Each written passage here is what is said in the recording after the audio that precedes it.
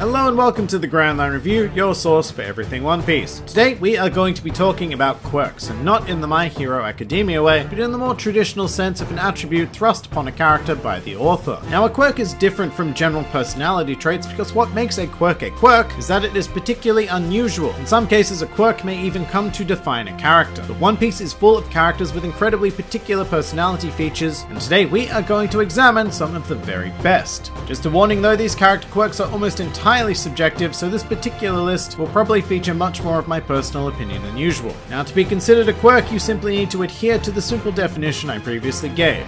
And with that out of the way, let's begin. Welcome to the top 5 character quirks in One Piece.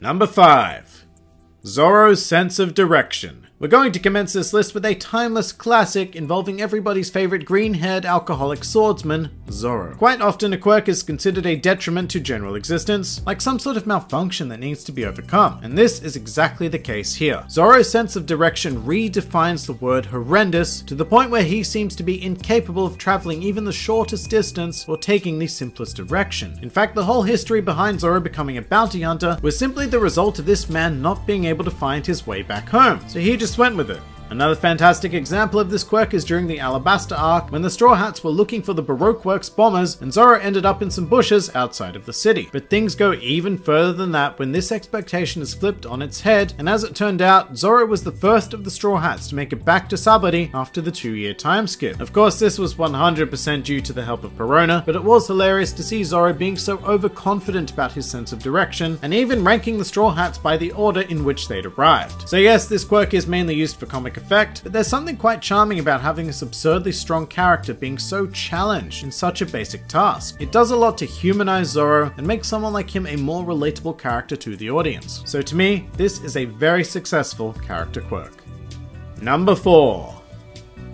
Hina referring to herself in the third person. Now this one is just adorable. Rather than using watashi, atashi, or any other common Japanese pronoun, Hina exclusively refers to herself as Hina. So for example, instead of saying something like I disagree, Hina would say Hina disagrees. Apparently this is a common thing that Japanese children do and it's seen as very cute. Now what really makes this particular quirk is that Hina makes no attempt to seem cute in any other aspect of her personality. In fact, she's a rather serious, stoic, and level-headed person, who for no inexplicable reason, refers to herself in the cutest way possible. I said in my opening that a quirk can come to define a character, and I don't think there's a finer example on this list than Hina. The contrast of her speech to her general personality makes her a fascinating character. If she were just a super serious marine, she'd be boring, and likewise if she was just a super cute entity. And given that this fusion of traits is almost entirely responsible for crafting a memorable character, I find it very fitting to put Hina's speech patterns at the number 4 spot. Number 3.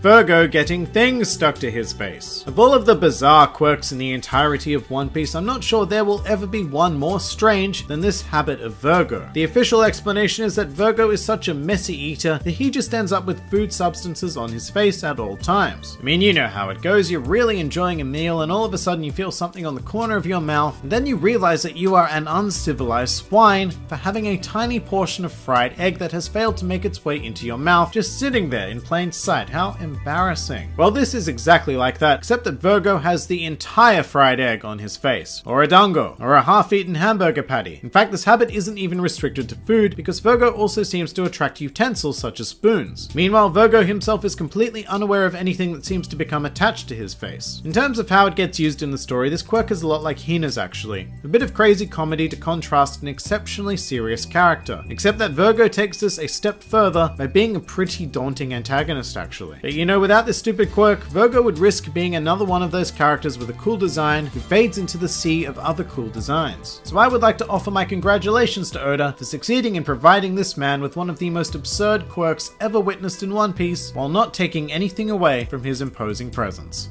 Number 2. Kaido's Suicide Hobby I suppose that sounds pretty dark, and yeah, it kind of is. This is the only quirk on this list that is not used for comedic effect, but instead it manages to achieve something much greater. Kaido is currently probably the most terrifying figure in the entire series due to his monumental strength and terrifying personality. And Kaido is so strong that he has access to a quirk that no other character in the series could or even would dream of having, which is the hobby of pursuing death. Kaido has been sentenced to death 40 times, only to have each method of execution fail to render him a corpse. And so Kaido makes an effort to explore any and all potential methods of death, with his introduction into the series being a particularly memorable attempt. Kaido made his way up to a sky island and he just jumped off. He fell 10,000 meters onto solid ground and proceeded to get up as if nothing had happened at all. It was one of the most amazing introductions of a character into the series, and this quirk effectively and instantly conveyed to me why he was considered to be one of the four emperors. That's a lot of work for one little quirk to do, and this one certainly pulled it off. But even so, we still have one quirk left to examine. Number 1.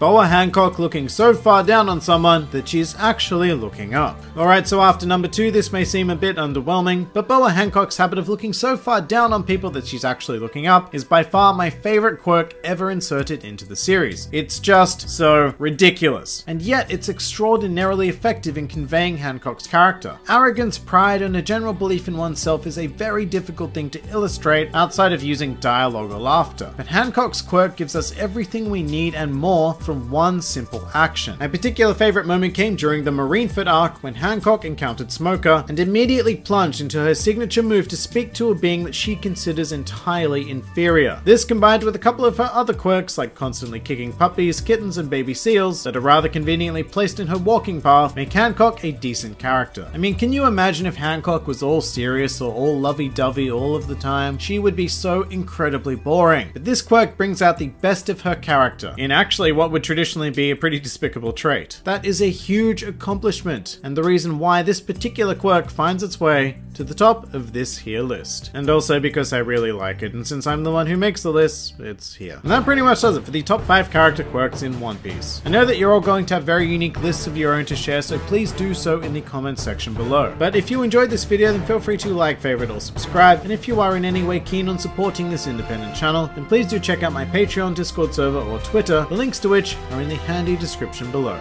This has been the Grand Line Review, and I'll see you next time.